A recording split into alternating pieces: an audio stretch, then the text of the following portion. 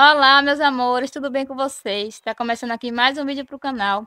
E no vídeo de hoje eu vou estar gravando um pouco da minha rotina da manhã para vocês. Peço para vocês acompanhar até o final do vídeo. Eu vou estar fazendo hoje um almoço. Então, se você não for inscrito aqui no canal, peço que você se inscreva. Deixe o seu like e também compartilha com seus amigos. Não esquece também de estar ativando o sininho para você não perder nenhum vídeo aqui do canal. Então, vamos para o vídeo.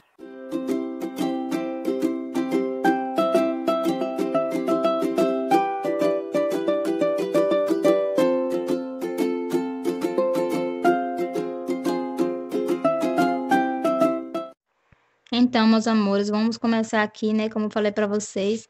Vou começar fazendo aqui a toscana calabresa com as batatas, tá bom? No forno, que é o que demora mais, gente. Então, enquanto eu tô fazendo a toscana, depois que ela estiver no forno, eu vou fazer um feijão, né? O arroz, vou mostrar tudo pra vocês. Então, tá aqui todos os ingredientes que eu vou usar, ó. Na batata, pra temperar a batata, já vou mostrar pra vocês. Então, gente, aqui eu tenho 800 gramas de toscana calabresa, ó. Vocês podem, a preferência de vocês, você pode colocar 500 gramas, 1 quilo, gente. Fica a critério de vocês, eu vou usar 800. Aqui, descasquei aqui sete batatas, ó. Elas não são grandes, tá vendo? Elas são médias, ó. Médias, pequenas, então vou colocar sete. E vou cortar ela em quatro, gente. Ela vai ficar em tirinha, que eu vou cortar ela no meio, ó. Em quatro pedaços, cada uma delas, tá bom? Vou mostrar pra vocês também. Vou colocar meia xícara de molho. Se você não tiver molho, você pode estar tá colocando extrato. E até mesmo ketchup. Só que o ketchup você, eu oriento você colocar menos para não ficar muito doce, tá bom? Aqui também eu tenho duas xícaras de maionese e meia banda de limão, gente. Suco de meia banda de um limão, tá vendo? Eu deixei aqui outra banda para mostrar para vocês que eu utilizei meia banda. E aí, meus amores, também se você tiver orégano, você pode colocar orégano, mas no meu caso hoje eu não tenho orégano. Eu achei que eu tinha, mas eu não tenho. Então vou colocar aqui um pouquinho de chimichurri, é porque ele também contém orégano, se vocês observarem. Então vou estar tá colocando aqui só um pouquinho de chimichurri para dar um gostinho nas nossas batatas. Eu vou usar também um pouquinho de açafrão da terra, só para dar uma cozinha, mas eu vou colocar bem pouquinho, gente. Então, agora eu vou mostrar passo a passo para vocês, né? Como é que eu vou fazer. Acompanha aí. Meus amores, já cortei aqui, ó, as batatas em quatro pedaços cada uma. Ela ficou assim, tirinhas, ó. Não tirinhas tão pequenas, mas ficou assim, ó. Tá vendo, gente? É assim mesmo que ela deve ficar. Então, agora eu vou estar acrescentando os ingredientes. Primeiro eu vou colocar aqui, ó, o molho, como eu já falei pra vocês, ó.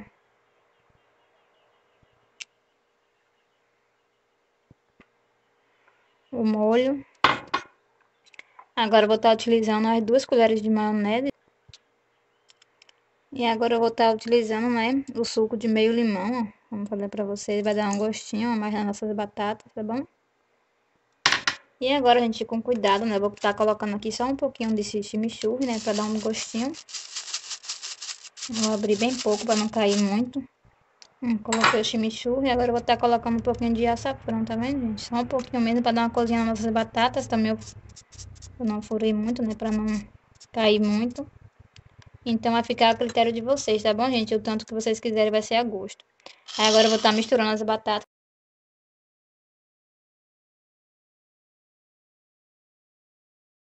Coloca uma pitadinha de sal, né? Esqueci de falar pra vocês. Então, meus amores, uma travessa pode ser assim redonda, pode ser quadrada. Eu não vou usar essa quadrada porque ela é muito grande. Eu tenho medo de não de ficar muito espaço, né? Já essa daqui é muito pequena, eu tenho medo de não dar. Mas eu acho que vou fazer com essa daqui mesmo. Vou tentar fazer com essa daqui mesmo. Primeiro você começa arrumando ela, né? Eu vou tentar colocar ela bem juntinha pra ver se ela vai caber aqui dentro.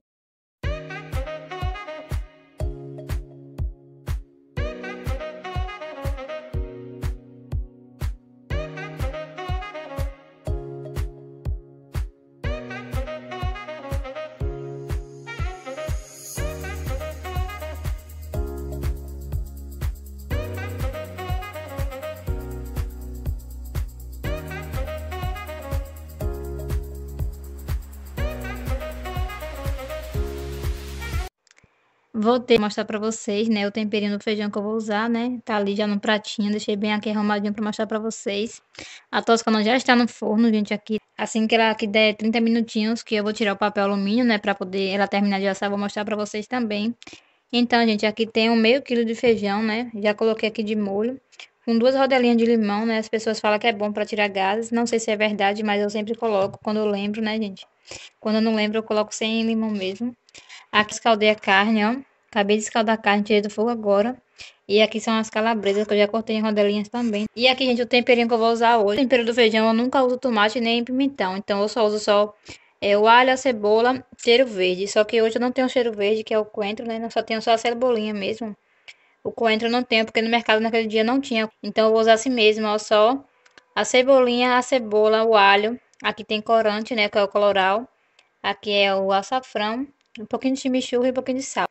Então eu coloquei pouquinho sal, porque na carne já tem o sal da carne, né, gente? Então se eu colocar muito sal, vai ficar salgado. Então eu coloquei só esse daqui mesmo.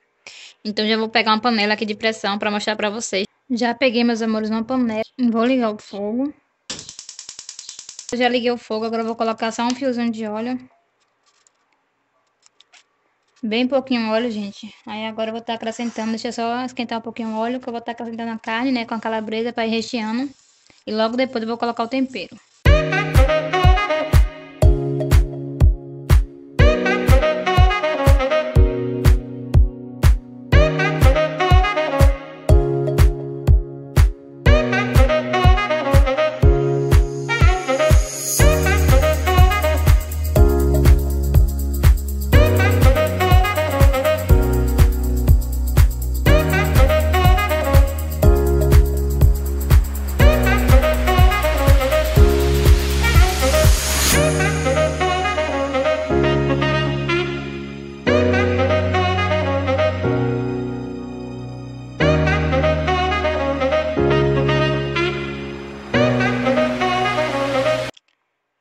Meus amores, feijão no fogo também. As canas já tá no fogo, deixando eu vou tirar ela pra vocês verem. Eu vou tirar pra poder ela terminar de assar, tá bom?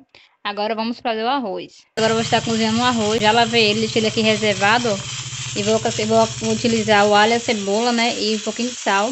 Vou rechear ele na panela e vou mostrar pra vocês.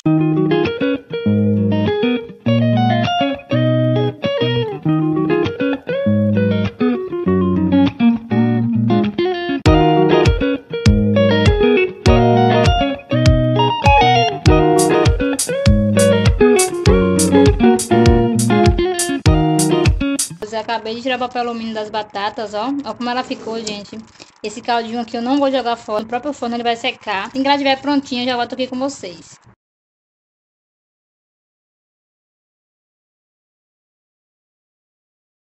Voltando aqui, meus amores, para falar para vocês. O feijão e arroz já tá pronto, né? Já tá tudo ok, ó.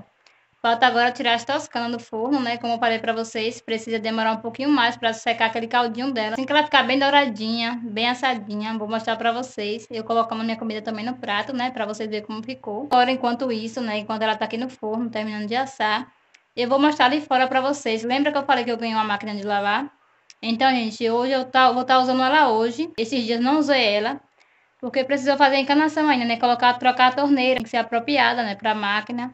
Então, eu consegui, no outro vídeo eu mostrei para vocês que eu comprei a torneira, comprei a cola, tudo direitinho para o Marcos poder fazer a encanação, né, para poder colocar ela.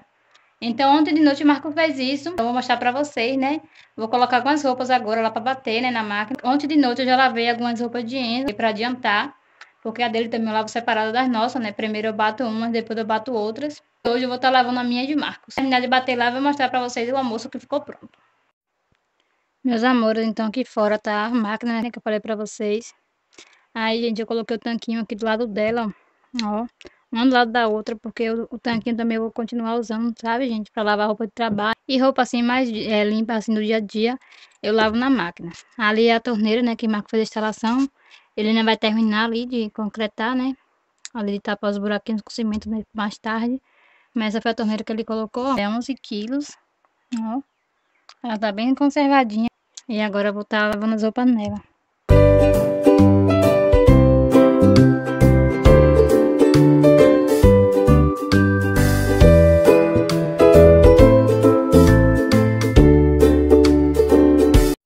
Meus amores, olha quem ficou prontinho, ó. Acabei de tirar do forno agora. Tá bem assadinha. Feijãozinho pronto, gente. Olha que delícia de feijão. Ficou bem bom. Linguiça pronta, bem assadinha, ó, com as batatas. E aqui o arrozinho branco, bem soltinho. Enzo tá aqui no quintal com Vitória brincando, né? Vou mandar eles tomar banho primeiro para poder eles almoçar. Enquanto isso, eu vou colocando no meu prato.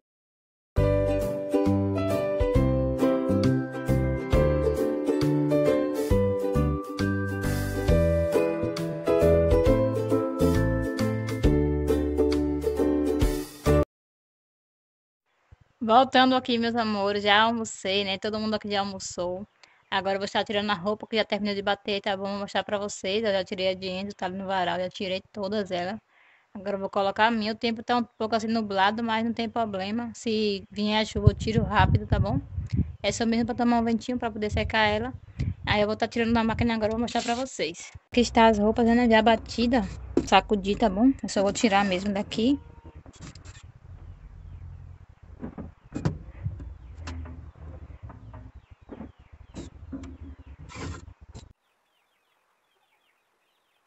Meus amores, agora eu vou estar lavando esses sapatos aqui, ó. São os sapatos de Enzo. Só esse rosinho aqui que é o meu, Aí eu vou estar lavando pra... Tava com poeira, né? Pra ele ir pra escola. Esse daqui tá novinho, gente, ó. Já tá dando no pé dele. Esse daqui também é novo, ó. Só que, porém, já tá perdendo no pé dele, ó. Então, por isso que eu tô lavando esse daqui também. Porque se caso esse aqui ficar muito apertado, eu já vou colocar pra ele com esse daqui, gente, ó.